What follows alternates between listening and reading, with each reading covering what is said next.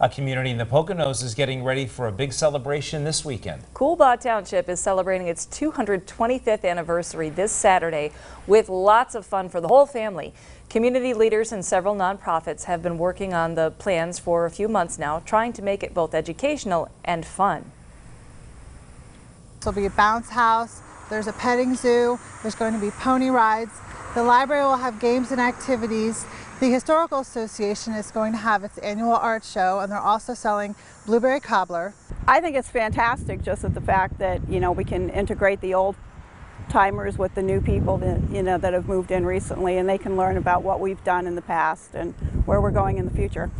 It all kicks off Saturday with a parade at 11:30 a.m. and ends at the municipal complex.